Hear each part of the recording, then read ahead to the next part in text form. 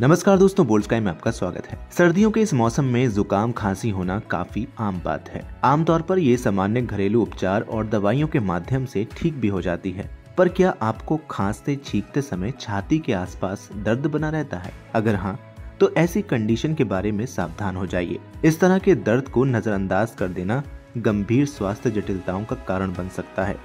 अगर आपको पिछले कुछ समय से ये दिक्कत बनी हुई है तो समय रहते डॉक्टर से संपर्क करके इसकी जाँच करा लें। इसे सीने में संक्रमण के कारण होने वाली दिक्कत भी माना जाता है। खांसते छींकते समय होने वाले दर्द को प्लूरिसी नामक मेडिकल कंडीशन के रूप में जाना जाता है। इस कंडीशन में दर्द धीरे धीरे कंधे और पीठ तक फैलने लग जाता है। प्लूरिसी प्लूरा में होने वाले इन्फ्लेमेशन की समस्या है। प्लूरा आपके फेफड़ों के बाहर लिपटी एक पतली झिल्ली नुमा ऊतक है, जो फेफड़ों की सुरक्षा करती है। इसमें होने वाली समस्या पर ध्यान न देना आपके स्वास्थ्य जटिलताओं को बढ़ाने वाली हो सकती है। आइए इस समस्या के लक्षण और बचाव के तरीकों के बारे में जानते हैं। सबसे पहले बात करते हैं इसके लक्षणों की। प्लूरिसी की समस्या और सीने में होने वाले सामान्य दर्द के बीच अक्सर अंतर कर पाना मुश्किल होता है। हालाँकि इसमें ध्यान देने वाली बात यह है कि प्लूरिसी का दर्द सांस लेने, खांसने या छींकने पर बढ़ जाता है। कुछ लोगों में ये सांस की तकलीफ़ का भी कारण बन सकता है। इसके कारण बुखार और कफ आने की भी दिक्कत हो सकती है।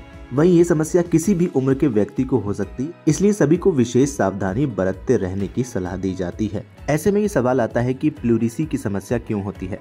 स्वास्थ्य विशेषज्ञ बताते हैं कि कई ऐसी स्थितियाँ हैं जो प्लूरिसी का कारण बन सकती हैं। ऐसे में इसकी सही जानकारी और बचाव के बारे में जानना बहुत ज़रूरी है।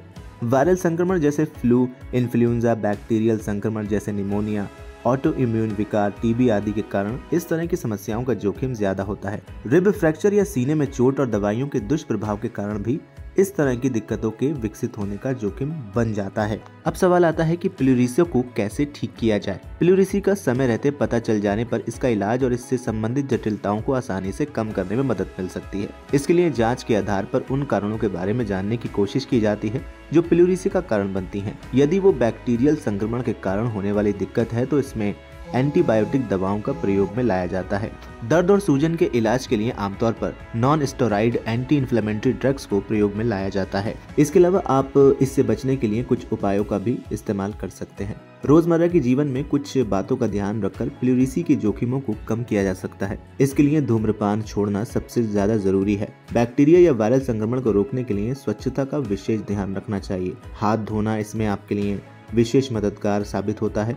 लंबे और गहरे सांस के अभ्यास की आदत फेफड़ों को स्वस्थ रखने और इससे संबंधित बीमारियों के जोखिम को कम करने में मदद करती है। फ़िलहाल इस वीडियो में इतना ही। अगर ये जानकारी पसंद आई हो तो इसे लाइक करें, शेयर करें और चैनल को सब्सक्राइब करना ना भूलें।